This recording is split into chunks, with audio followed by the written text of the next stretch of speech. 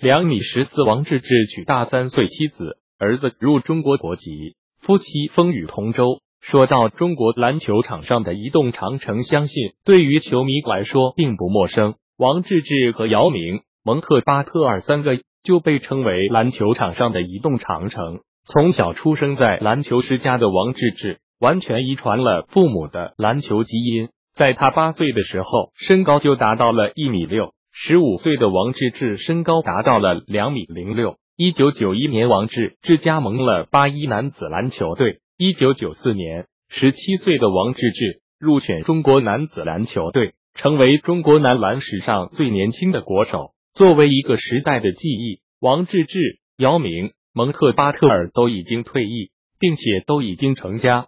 不得不感叹，时间过得确实飞快。姚明娶了同为运动员的叶丽，如今也育有一女，而巴特尔也跟大自己十岁的德明结婚。至于王治郅，也娶了大自己三岁的女强人宋阳。虽然宋阳曾经有过一段婚姻，不过对于王治郅来说，宋阳除了是一个妻子以外，还是一个贤内助。对于王治郅，宋阳从来都是不离不弃，风雨同舟。二零零四年，王治郅的儿子在美国出生。众所周知，很多的运动员的下一代都入了外国国籍，而作为在美国出生的孩子，都可以直接获得美国国籍。不过，王治郅却并没有给儿子选择美国国籍，而是入了中国国籍。二零零二年，远在美国的王治郅因为不归事件被中国篮协开除国家男篮。对于王治郅来说，这次事件的打击很大。作为妻子的宋阳，则在一直鼓励着丈夫。